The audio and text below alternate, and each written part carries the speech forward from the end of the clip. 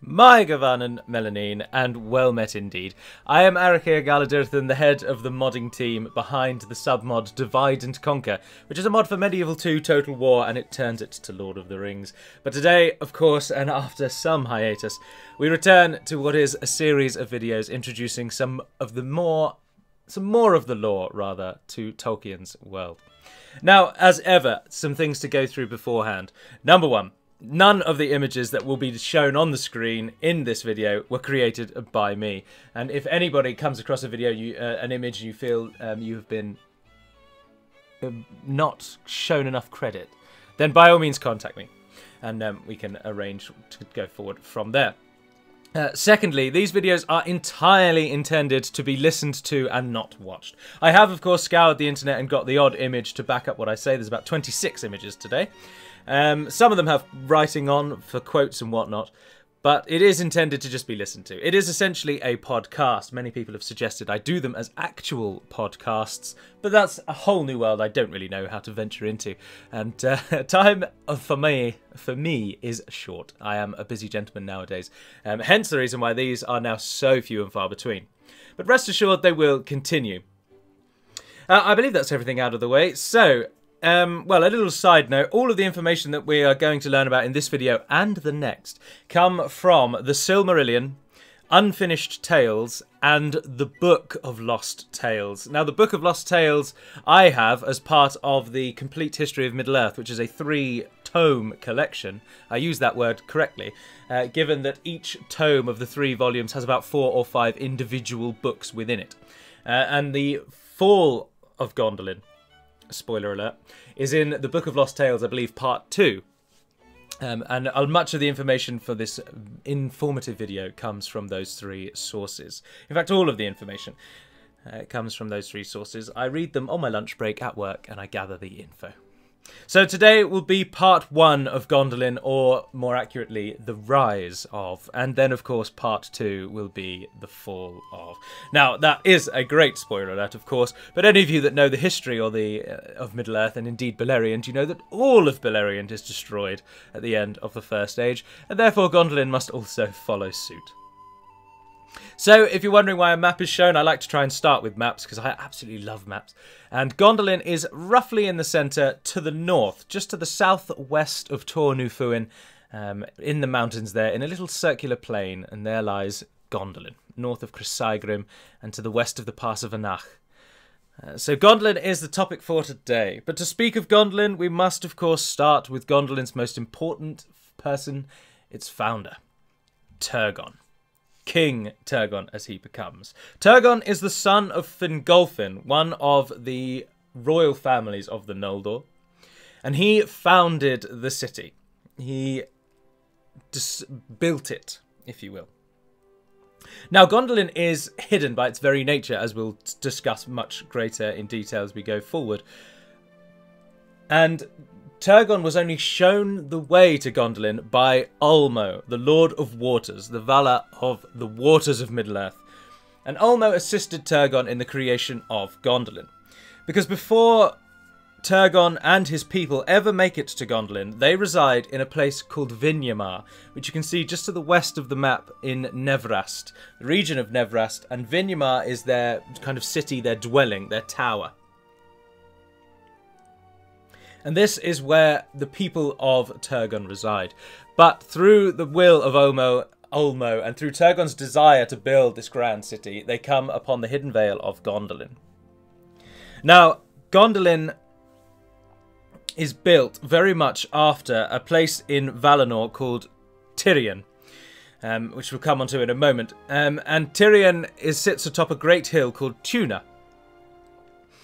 Um, and Tuna resides in the centre of a plain back in in um, Aman, where the Noldor have been exiled from. And Tirion is perhaps one of their greatest cities. And Gondolin is built after this city. But just for the image on the screen at the moment, the, the plain that Gondolin resides on is called Tumladen, which we'll cover a little bit more in a moment as well.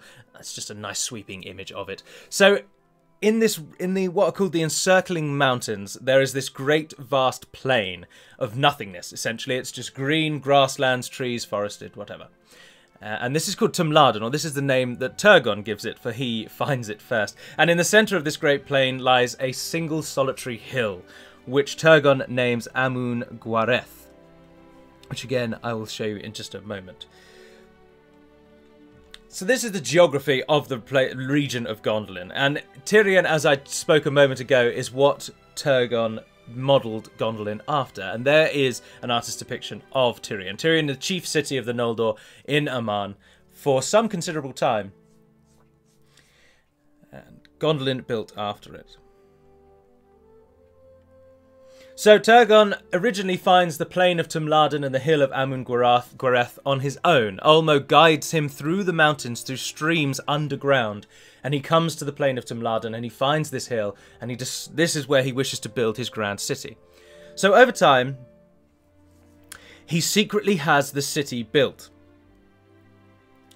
And after one of the main battles of Beleriand called the Dagor Aglareb, or the Glorious Battle, this is when Turgon begins to secretly build the city.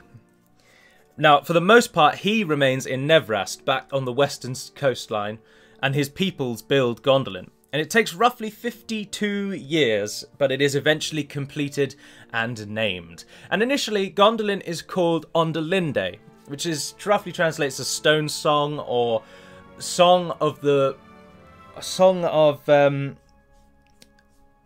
the rock, like music of the rocks. It's a it's a bit of a bit it has a few meanings, but it's Quenya, which is a language unfortunately I don't speak. But eventually Gondolin comes to be known as Gondolin, which is hidden rock in Sindarin. This is the same root word that we see in Gondor, which means land of stone or land of rock, and Gondolin means hidden rock, from Gond again, rock, stone, and Dolan, which means hidden. And it becomes Gondolin. And additionally, as I explained earlier, it sits atop a hill called Amun Gwareth, which translates as the Hill of Watching. And Amun Gwareth sits in the centre of the plain of Tumladen, which means the open valley. This is all Sindarin, save for Ondolindë. And this is the name that Gondolin is given, and it is finally constructed, and Turgon moves all of his peoples from Nevrast to Gondolin. His entire society is uplifted, and they abandon Vinyamar entirely. But before Turgon finally leaves the city, Ulmo comes to him. For they have now spoken at great lengths, and Ulmo indeed guided him across half of Beleriand to get to Gondolin. But he comes to him just before Turgon makes the final departure from Vinyamar, and he says the following. He says to Turgon, Now thou shalt go at last to Gondolin, Turgon, and I will maintain my power in the Vale of Sirion and in all the waters therein, so that none shall mark thy going, nor shall any find there the hidden entrance against thy will. Longest of all the realms of Eldalie shall Gondolin stand against Melkor. But love not too well the work of thy hands and the devices of thy heart, and remember that the true hope of the Noldor lieth in the west, and cometh from the sea.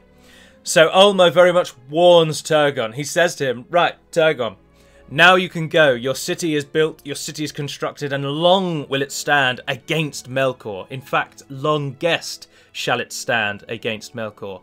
But remember that the true hope and saviour or saving of the Noldor lies in the west and not in strength of arms or strength of the Noldor or even strength of the walls.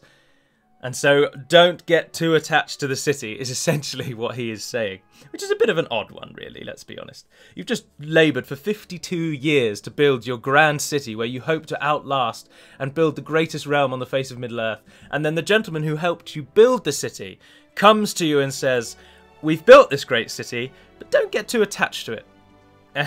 so it's a bit of an odd warning. But Ulmo bids Turgon leave behind in Vinyamar a set of arms and armour. A sword, a shield, a hauberk, and a helmet he is commanded to leave behind in the throne room of Vinyamar.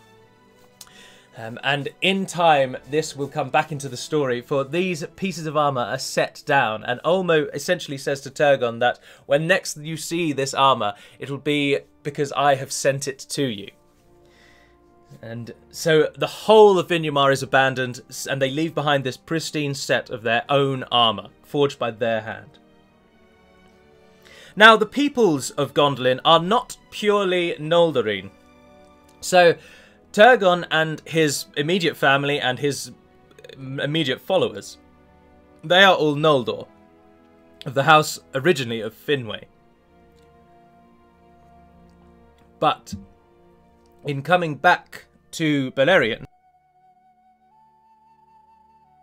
they have merged with the Sindar. Or rather, similar to the way that Lothlorien is ruled, the Noldor have arrived and the Sindar have taken them as their lords. Because the Noldor are a higher form, if you will, of elves. As depicted on the screen, elves are broken down into two categories. This is discussed in length in the elf video, elf video I did probably a year and a half ago. But um, there are the Calaquendi and the Moriquendi. The Calaquendi means light elves and Moriquendi means dark elves.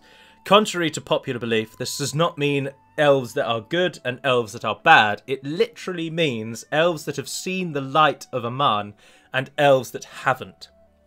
Because at the time when the elves first made it to Aman, Arda, the, the plane of existence that Middle Earth resides upon, is lit by two great trees in Aman, which is also known as Valinor, which is perhaps its more common name.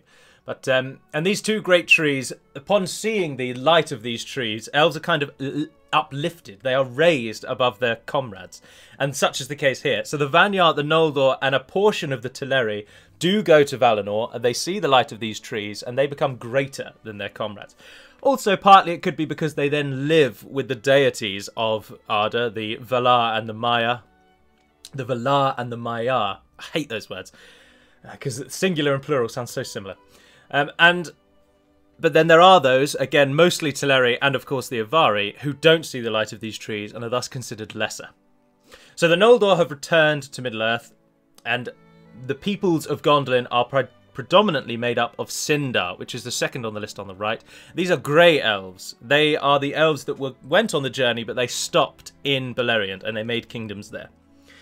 And Turgon's people is made up predominantly of Sindar over Noldor.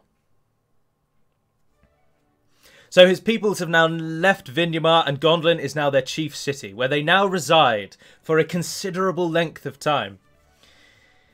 350 years they are in Gondolin until anything really happens to them. So their city is expanded, it's upgraded, it's improved, it's forged into the great realm that we know of toward the end of the First Age.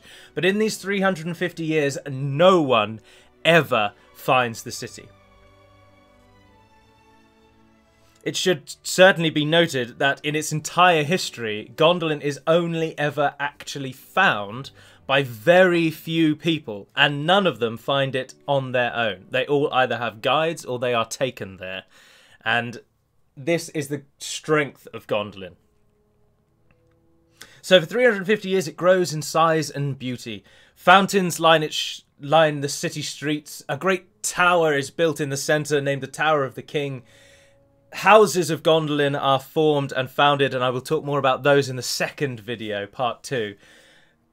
But it becomes very much the chief city of the Noldor, without realizing it. It is the greatest Noldorine constructed city in Beleriand, arguably, but no one really knows it's even there. Even Turgon's own family don't know where Gondolin is.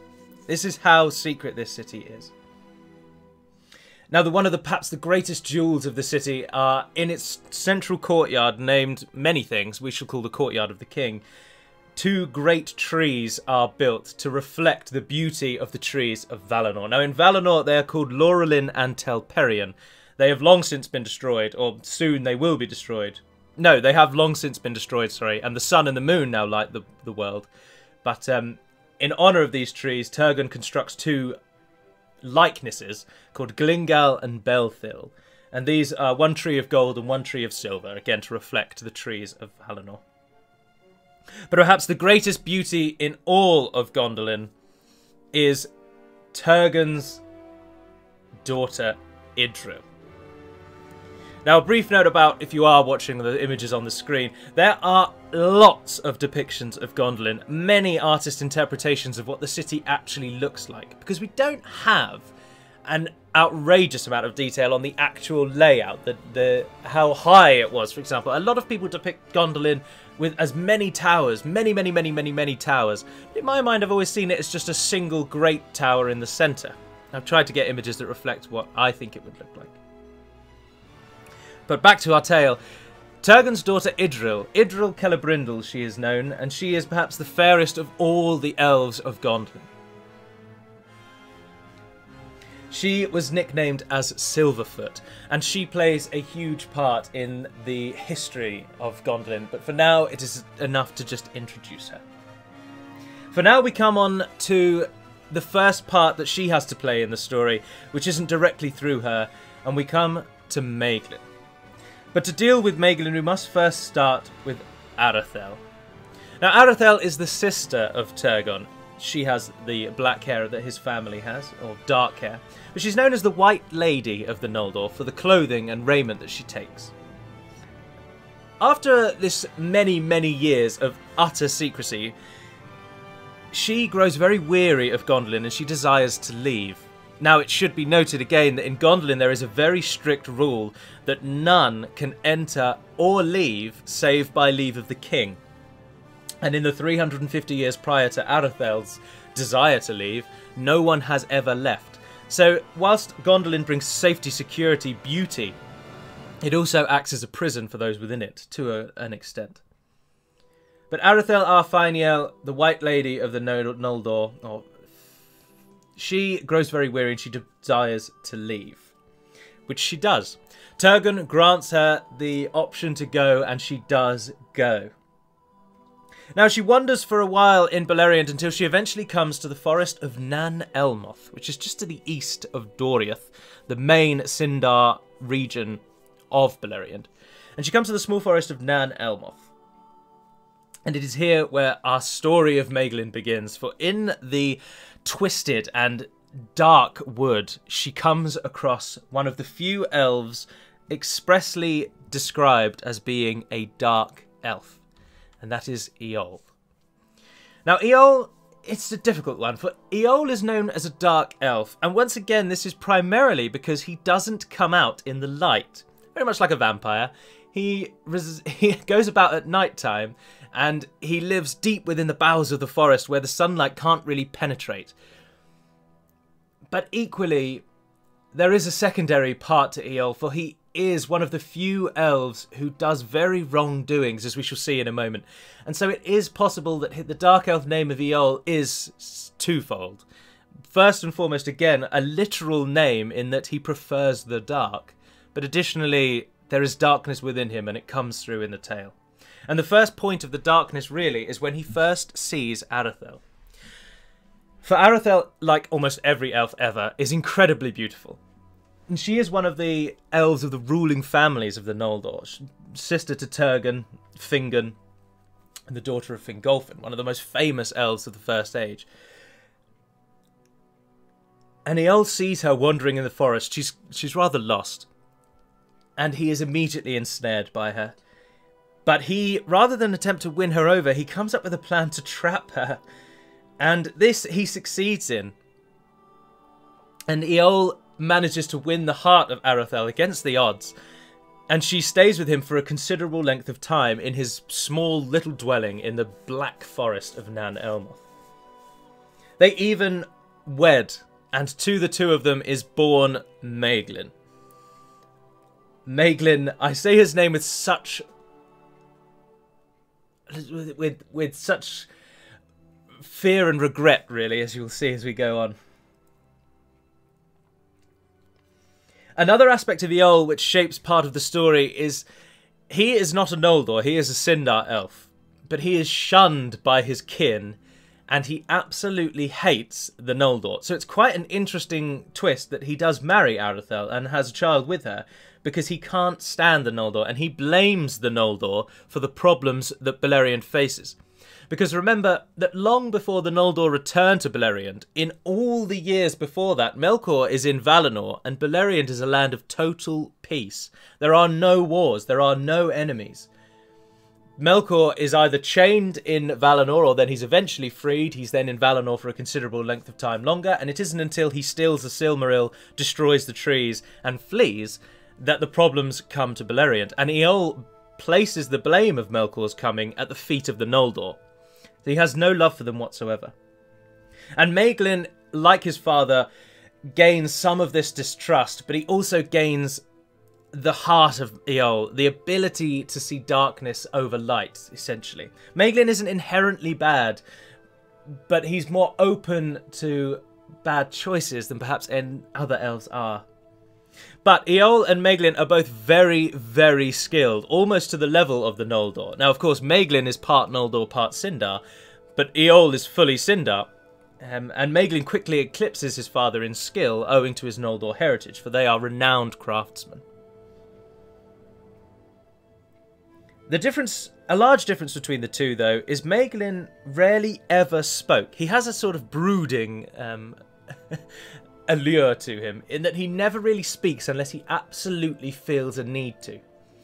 Um, so he's quite a, a, an odd child, if you will. Now, over their years together, uh, there's an image of Maeglin, sorry. Over their years together, Aredhel tells stories of her homeland. She tells stories of Gondolin, her brother, and the wonders of the city and the plain of Tumladen. And Maeglin and, and Aredhel both then gain a longing to leave this forest prison they are entrapped in and return to Gondolin. But Eol will have absolutely none of it.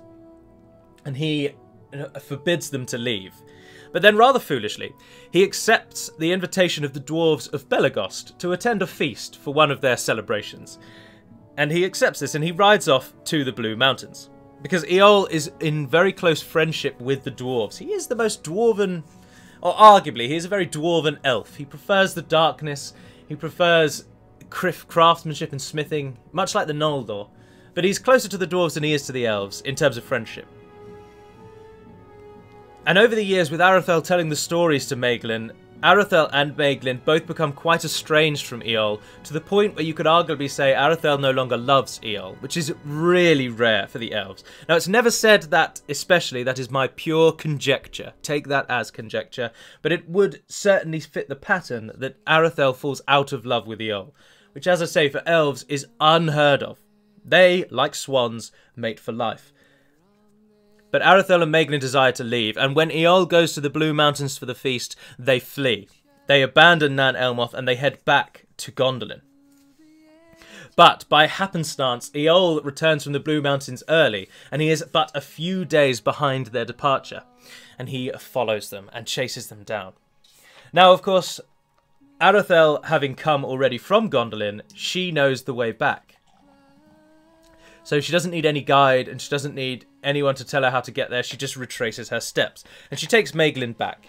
And they have to pass through the same system that we will discuss in a little while, um, for it's more relevant a little later on.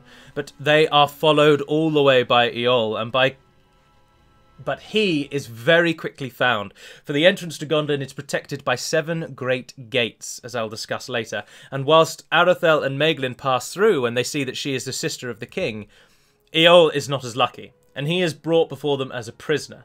But Aredhel ensures that he doesn't get killed at the gates, and instead is brought before Turgon. Now, Turgon welcomes him as a brother, for he is now his brother in law, and Turgon extends the hand of peace to Eol, and it is rejected. In the court of the king in Gondolin, Eol cries out to all the Noldor in earshot, and he blames them for all of the problems of Beleriand and he wants nothing to do with any of this. He wants to take his son, maybe not his wife any longer, but certainly his son, and he wants to just go back to Nan Elmoth and leave this all behind. He wants nothing to do with the Noldor. But Turgon, in a stern voice, stands and corrects him and says, But by the swords of the Noldor is your little forest protected. If we were not here defending you against Morgoth, you would be in thraldom working as a slave in whatever manner of devices Morgoth can conjure up to make your life hell. You should be welcoming us and helping us, not scorning us. And he gives Eol a choice. He says, Under our laws and by our laws, but because you are kin, I will repent the usual law that whoever comes to Gondolin cannot leave. This is the standard rule, but it's broken quite a lot, to be honest. But um, he says, Because you are kin, I will give you this choice. You can either leave now alone, and we will never speak of this again, or you will die here.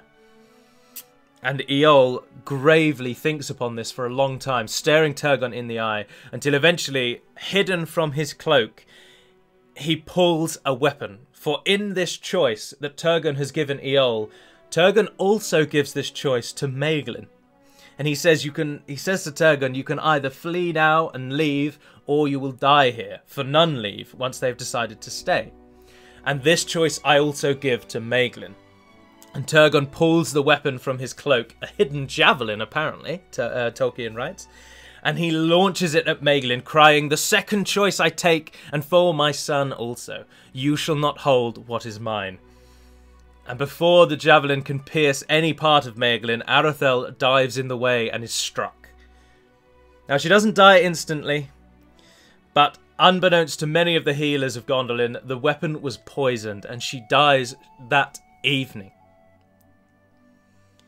Now, Turgon was originally furious. Obviously, he he enslaves Eol, he imprisons Eol, and for that first part of the day when Aredhel is still alive, she counsels Turgon to be lenient.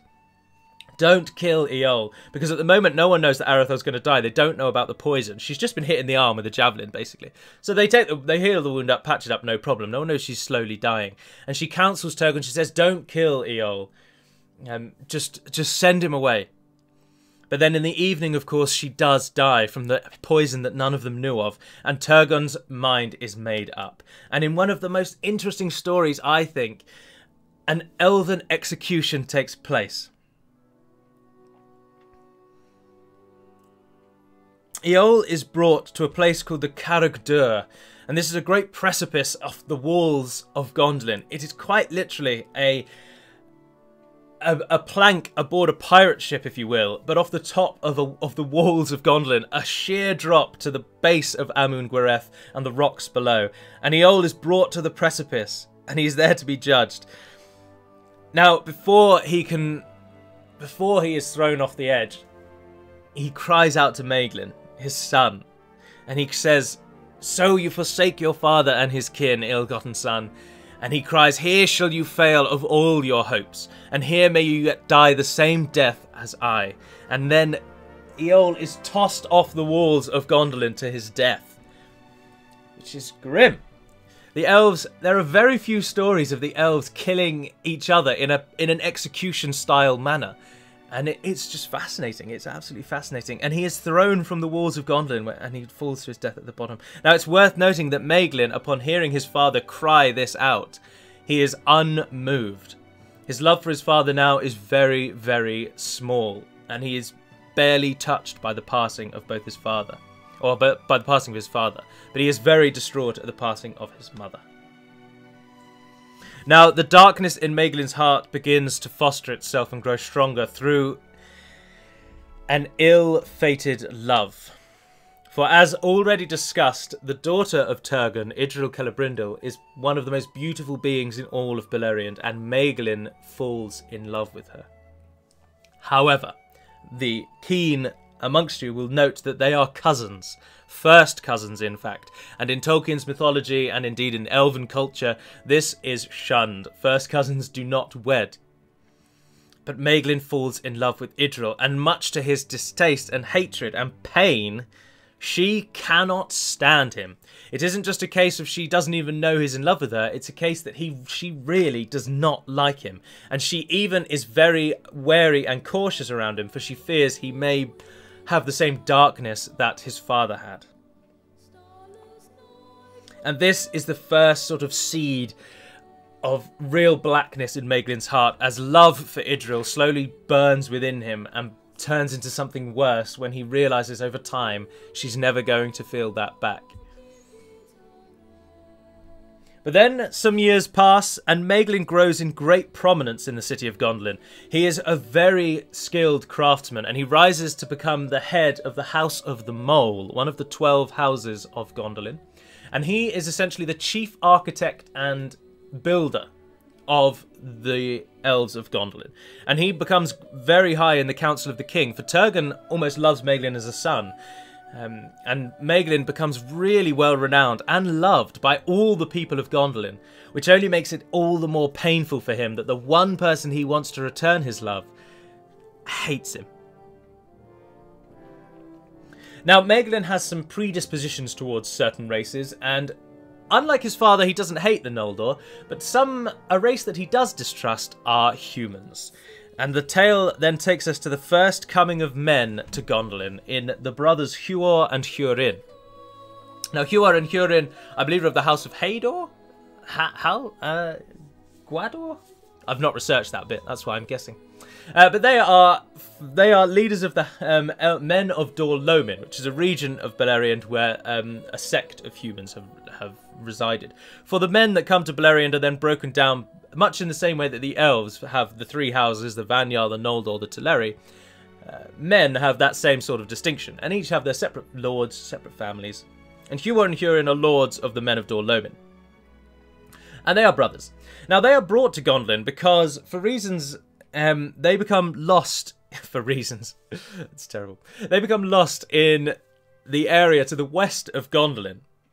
And for fear that they may be killed by orc raiding parties or, or orcs just roaming the land, the eagles, who are ever watchful of Gondolin, bring Huor and Hurin to the city.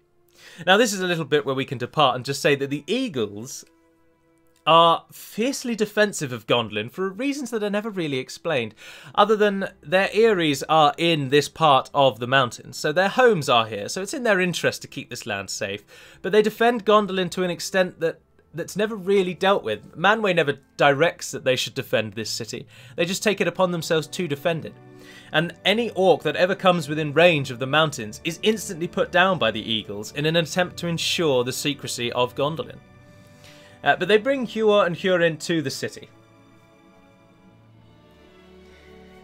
And they reside there for some time because, like all peoples that come to the city, Turgon essentially says, Now you've found us, you can't go away. You're going to have to stay here forever. And they kind of just get on with this for, the, for a while, and a great love actually grows between Turgon and these brothers. And they become great friends. And this is another aspect that brings jealousy to Maeglin, seeing this love for his now kind of a foster father and these humans who he sees as less than elves. If it grows, another hatred grows in his heart, another string to the bow of his darkness. Now, after a while, it's only a, it's only a few years. I think it may even be a year.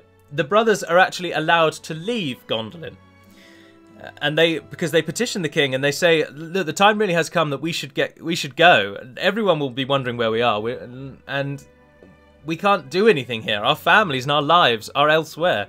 And they do say that by your rule anybody that finds the way to gondolin cannot leave because they know the way. They could tell someone else and our secret is undone.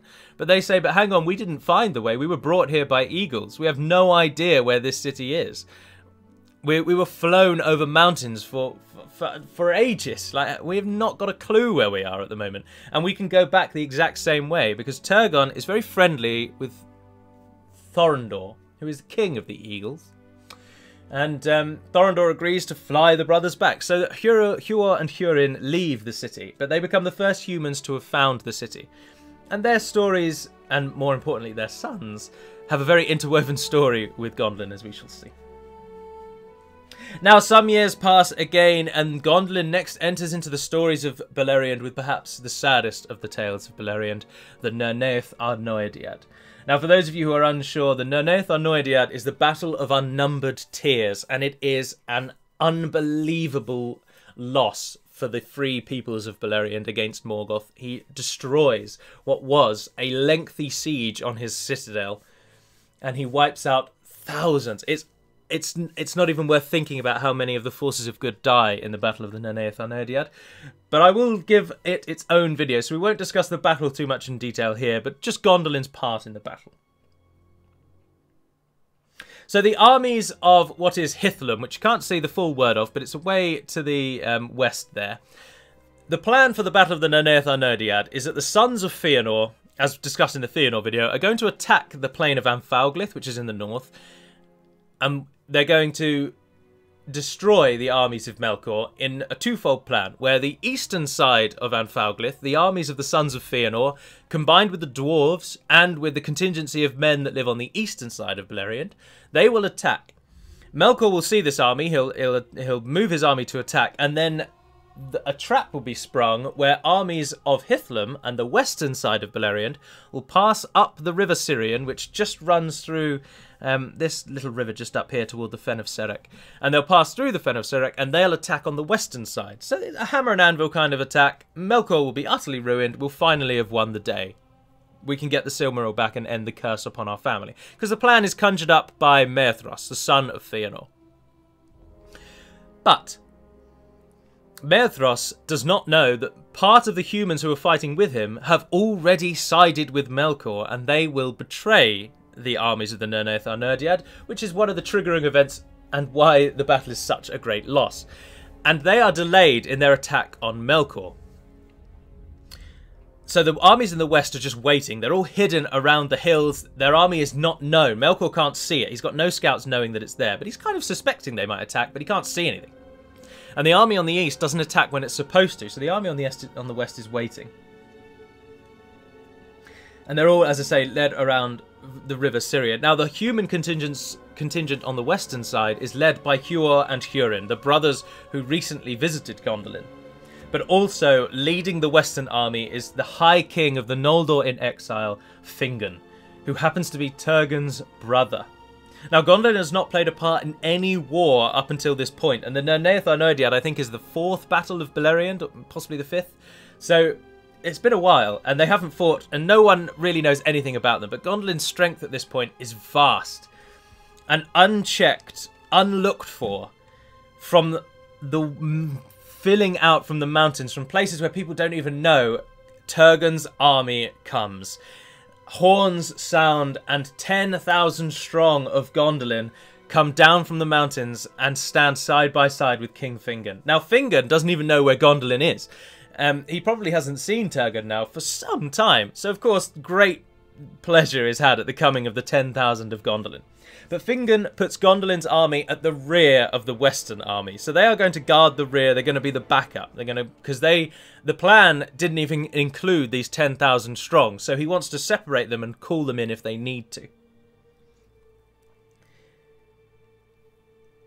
Now the plan goes awry, as I will discuss in the Nirnaeth video, and the battle is joined on Melkor's terms and not on the Free People's terms, and this is the first event of why the battle turns into a great loss. But Turgon's army is held in the rear, and Fingon and the men of Dor Lomin they attack the forces of Melkor on the west, and a bloody battle ensues. Now, Melkor suckers the Western army into a trap, and the forward force of King Fingon and Huor and Hurin is outnumbered and surrounded and Turgon then takes it upon himself to decide to support his brother, and he moves his army up. And he pushes with his army through the lines of the orcs, and he makes it to stand side by side with his brother Fingon. But Gothmog, this video has a lot of buts, doesn't it?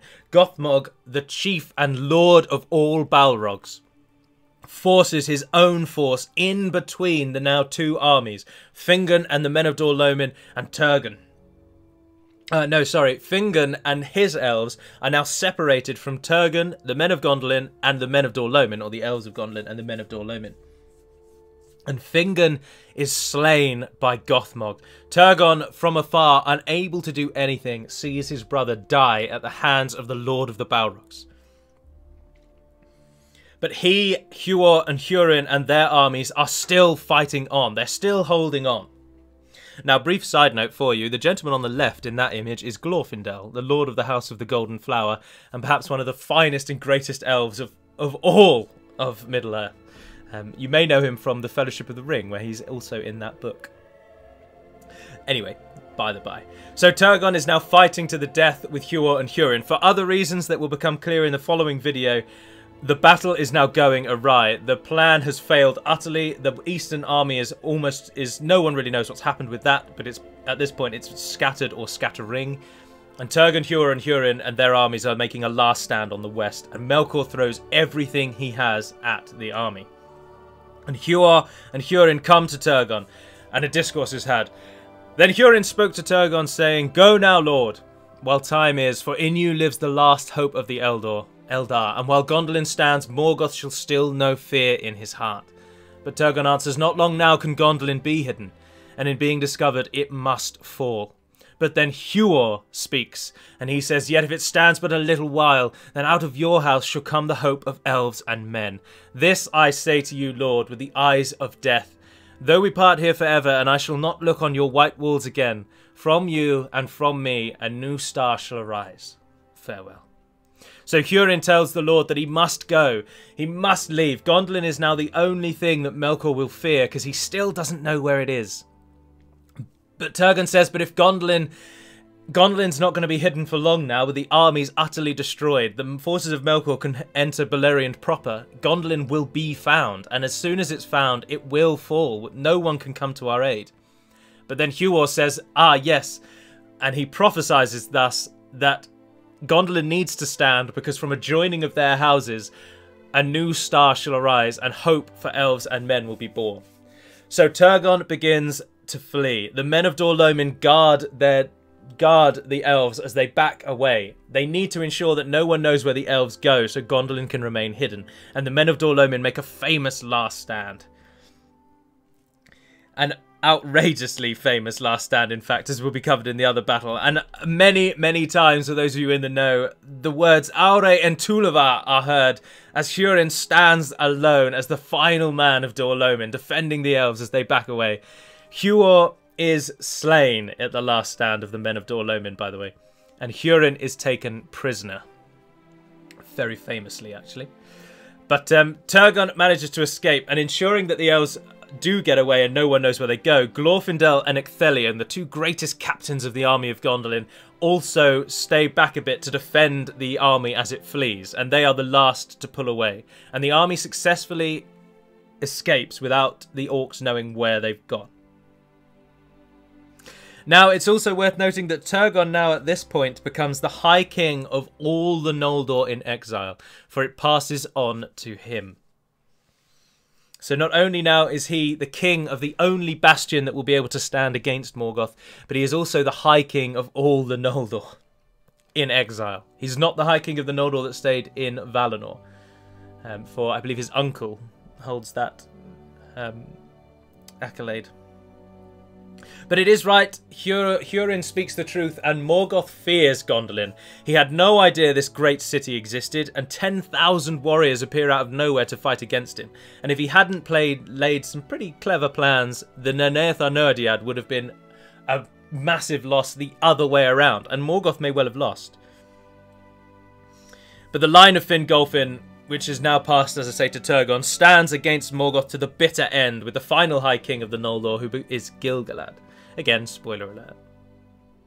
But now we come on to the final play in the story of Gondolin before, uh, for this video, we come to Tuor. Now, Tuor was the son of Huor, who we've just spoken of, who died at the Battle of the Nirnaeth Arnoediad, and was the brother of Hurin. And Tuor was his son. Now, Tuor was born after the Na, which is what I shall call the Nirnaeth Arnoediad, and so Huor never met him. And Tuor, for a time, he lives a very troubled youth, um, which we shall say to keep the video a reasonable length. Uh, he's enslaved for a period of time, then he breaks free, and and he eventually makes his way out. Now, Ulmo chooses Tuor as the instrument of his prophecy some years before. We're now looking at about 480-ish, I believe, somewhere around there years since the founding of Gondolin and Ulmo came to Turgon. So a very, very long time ago. And Ulmo chooses Tuor as his champion. And he instructs and lays plans that Tuor makes for the city of Vinyamar in Nevrast, whereupon Tuor finds the armour that was left there by Turgon some 500, we'll call it, years ago.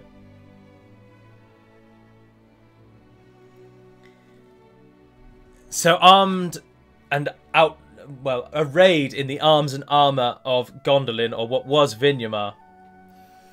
Tuor standing upon the edge of the sea, Ulmo comes to before him, as is depicted in this image and many other images. It's very, it's a particular favourite of artists to depict the Ulmo coming before Tuor. Now, he doesn't say anything grand or anything. Ulmo just bids that he seek for Gondolin, and he gives him a cloak that will shield him from enemy eyes um, a semi-invisibility cloak, if you will, but more akin to the elven raiment, where if you don't want someone to see you, they won't see you, kind of thing. Now, on his way seeking for this hidden city that he did not even know existed, Tuor comes upon an elf called Voronwë. Now, Voronwë is Turgon's answer to Ulmo's initial warning. You'll remember that Ulmo said that the the hope of the Noldor lies in the west, coming from the sea.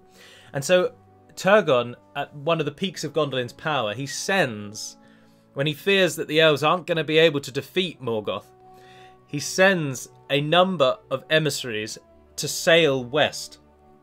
They uh, they leave Gondolin, they head to the sea, they get ships, and they sail west to try and ask the forces of Valinor for aid.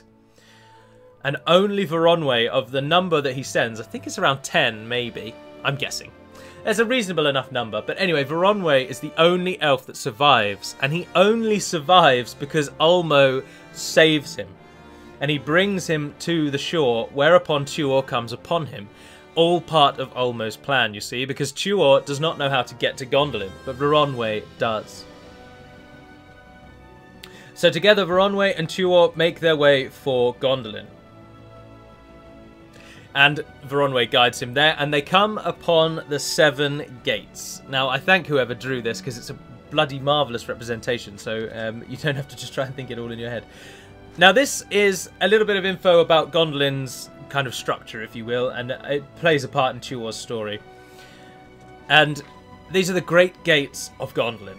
So the pass, the main path into Gondolin is called the Orfalch Echor Cirith Ninniach.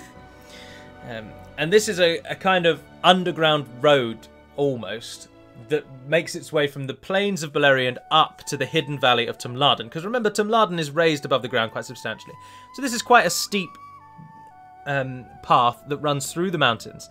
And this is the main entrance into Gondolin. And barring the way are seven gates. Each gate is guarded by. There's a captain at the gate. Not all of their names are provided. And there's different architecture designs, and even the warriors at each gate wear different armors reflective of the gate. It's all very ornate and very um, fancy. But the first gate that Tuor and Voronwë come to is called the Wooden Gate. Now, this is a very simple wooden portcullis. It's the image in the top left. It's basically the stone makes the wall, so the rock of the mountain itself makes the wall, and the portcullis just covers the gap. And this is the first gate. The second gate is called the Gate of Stone, and this is a single stone door that has no obvious hinges. Um, and when Tuor sees it open, he marvels at this elven construct. So he passes through the first gate and the second gate. Now, brief interlude, he passes through all of these gates as a prisoner. Because Tuor is a man, and at the moment Gondolin is basically under lockdown, no one can come. But Tuor obviously is outfitted in the raiment of Vinyamar, and all of the, many of these elves will have, will know exactly what that armor is. Uh, but also, he speaks with an authority that the gatekeeper, who's called Elemmakil, or Elemmakil, sorry. Elemmakil is swayed by the power and authority in Tuor's voice, and he agrees to lead him to Turgon. Because Tuor basically says, I have a message from Ulmo, I will only speak to the king, which could some people would could laugh off, but these people see that he speaks the truth, and they're willing to take him at least to the king for judgment, rather than kill him outright.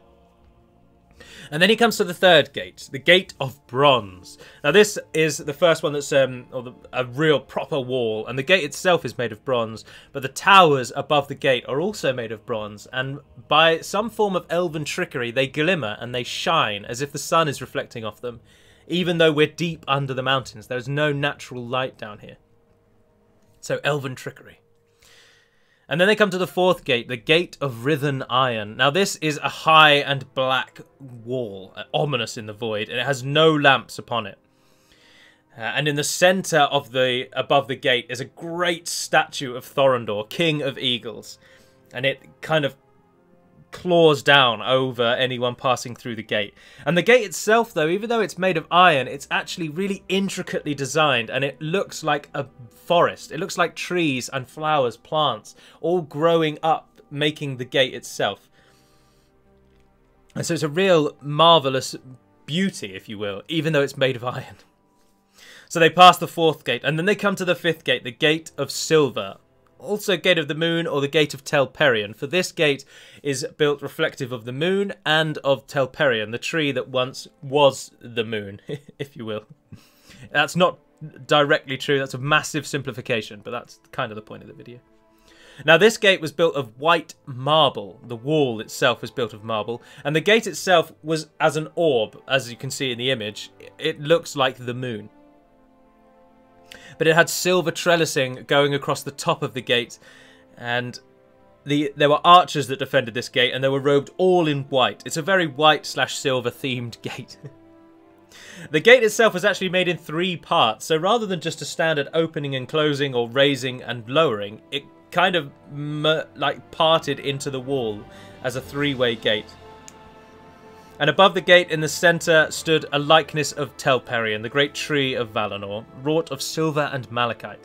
And it had flowers that were made of pearls. And there were two hundred archers standing, a hundred on either side, along the road behind the gate. They had great white crested helms, and they defended the gate as its first defence. Now, as the road passed between the fifth and the sixth gate, small flowers began to bloom on the sides of the road because grass began to grow. And these flowers are known as Uilos, uh, which kind of means ever or ne never ending, everlasting. And they, they glow a beautiful white, silvery colour. And Tuor describes this as stars amongst the darkness. It looks like the, the heavens are on the ground around you. Now, as they came closer and closer to the sixth gate, golden flowers also joined these silver ones on the sides of the road to create an image of utter beauty. And indeed, the sixth gate is called the Golden Gate and is named after either the sun or Laurelin, which is the which was the tree that acted as the sun beforehand. And this is identical to the Silver Gate, except anything that was silver is now gold, and there's Laurelin instead of Telperion above the gate. Now the guards here were arrayed in gold, but they had red shields, big red shields. And it was very much a sun-related gate. And then finally, the seventh gate was a new addition built by Maeglin after the Nirnaeth Arnoediad. And this is called the Gate of Steel. Now, this gate had no obvious actual gate, and it didn't have a stone wall or a big wall or anything. It was a huge steel fence. Very much as the image depicts, with two towers either side and it had crossed it had bars crossing between the towers along with a fence. So it was a wall but it was more fence like than a wall. Now Tuor saw no actual way through this. Uh, he didn't really understand how they would get through. Uh, but Elemmakil touched upon the fence and it rang as if a harp was playing. The, the very fence itself made a melody as it was touched by the guard and Ecthelion, Lord of the Fountain, came riding from one of the towers and stood before Tuor. Ecthelion was clad all in silver and white. Now Tuor spoke with him and said he had to go through, and Ecthelion allows this. And when Ecthelion touches the fence, it parts as one great gate. Now the adornment of the seventh gate was in the centre at the very top, um, well, on, on, the top of the fence, there were seven pillars that rose to needle sharp points. But on the central one was a representation of the crown of, or the crown helmet of Gondolin, a sort of battle helmet worn only by the king. And there was a representation of that above the gate. So Ecthelion and Tuor pass through the gate. And Tuor sees for the first time Gondolin. Now, this image, side note, is the image of Gondolin I have always in my head, and the one that I think rings most true. Um, for and it just looks so good, doesn't it? With the Tower of the King in the centre. So Tuor is led before Turgon, and he relays a message to him from Ulmo, and he bids that the elves leave Gondolin. He says, "Now is the time to leave." Ulmo's message to you long ago. Now is the time. If you stay here, there is only doom before you. He also explains that the doom of Mandos is almost fulfilled. The doom that says that the Noldor will basically perish if they follow the errands of the sons of Fëanor. But Turgon had become quite proud, and he he did feel that Gondolin would stand, they would be strong. And also, he ever had the counsel of Maeglin in his ear telling him, I'm not sure if this gentleman's correct. I think we're going to be all right. You know how strong our walls are. You know how hidden we are. How are we ever going to be found? Now, part of this is because Maeglin almost immediately distrusts Tuor, and he holds him in distaste. Which causes another great rift between them, for Tuor stays in Gondolin for quite some time. And of course, Merglin is in love with Idril, who who doesn't like Maeglin at all. She can't stand him. And to rub salt into that wound, Maeglin doesn't like Tuor either. And Tuor and Idril, after seven years of Tuor staying in Gondolin, they wed. One of the few times elves and men come together. And as prophesied by Huor, the houses of Huor and Turgon join together through their children. And after a while, after they have wedded, born to both of them is Eärendil. And now Eärendil comes into the story a great deal more, and this is the 503rd year of the founding of Gondolin. Eärendil is born. And the story today now ends. For the birth of Eärendil marks the starting events of the downfall of Gondolin. Now, it should be noted a few minor points before we depart that upon the arrival of Tuor and his warning to Gondolin, Turgon has the entrances to Gondolin sealed shut. And by that I mean like landslide sealed shut. So the possibly destruction of the gates to entail this, but he ensures that the entranceway, the Orfalch Echor, the starting path, is closed completely in an attempt to seal Gondolin in. Now, Mor- Morgoth ever probes for Gondolin and he desperately tries to find it, but he never can. The Eagles ensure that none of the orcs ever get near to Gondolin, because, of course, at this point, well, not necessarily, of course, but at this point, Gondolin stands as one of the few remaining bastions of the free peoples in Beleriand. Morgoth is winning almost everywhere else. Beleriand is falling to his power. But the orcs never come near the encircling mountains, for the eagles kill them. They defend the mountains themselves. Until, after a while, and the final point of our story today, Hurin, who was captured at the Battle of the Nirnaeth Arnoediad some years before, he is eventually set free by Morgoth. After he. The story of Hurin, when he is captured and taken back to Morgoth, Morgoth tries to get as much information out of him as he can, and Hurin gives nothing up. He is tortured relentlessly, and he gives nothing up. And Morgoth punishes him by strapping him to a throne atop the mountains, the Thangorodrim, and he gives him the sight and ears of Morgoth himself. So Hurin is trapped on this chair that he can't leave, but he can see and hear everything that happens in Beleriand and he is forced to watch the story of his children as it unfolds. The Narn i Chîn Hurin, the lay of the children of Hurin. For his children come under great hardship and sorrow, and Hurin is forced to watch. And when that story comes to an end, Morgoth says, It is basically now worse if I actually let you go and wander the land that you once called home and in your misery. So I'm going to do that. So Morgoth lets him go. And Hurin heads south and tries to come to Gondolin because he knows sort of roughly in the world where it is and he comes to a point near the encircling mountains where he thinks Gondolin is, and he cries out to Turgon and he says, Turgon, bring me to your city. Like it's the only place of peace left to me. I I really want to come back. And Turgon doesn't answer him. And the eagles don't answer him. And Hurin curses Turgon and cries out aloud at the, the fall of the Noldor. But unbeknownst to him, he's being watched by orcs the whole time. And the mere fact that he stands upon the western edge of the encircling mountains, faces east, and cries out for Gondolin, the orcs report that back, and Melkor finally understands where roughly in Middle Earth Gondolin is. Or Beleriand, sorry. So the tale of Gondolin, the downfall is in parts. Maeglin, the seed of jealousy within the walls itself, Hurin giving away the general overview of where Gondolin is, and of course Morgoth utterly surrounding Gondolin by destroying the realms of Doriath, Nargothrond and Menegroth, and pushing the elves to the sea. But the fall of Gondolin is for the second video, and for today that concludes. It's been a very long time since I've done one of these, so I hope I've done it justice. I know I ramble That is for true. These aren't to everyone's taste, and I appreciate that. If I've said anything incorrectly, it's probably because I didn't write that bit down and I'm trying to go off the top of my head, and I couldn't remember. I was very worried I was going to call Thorondor Thorongil, which I believe is the name Aragorn takes when he um, attacks Umbar and assists Denethor long before the uh, events of the War of the Ring. And I was really concerned I was going to call him that. But um, I often say at least something wrong, so do correct me. But um, I hope you've enjoyed it, and until we speak again, dear friends, Navair Naden Perimad Melonin and farewell.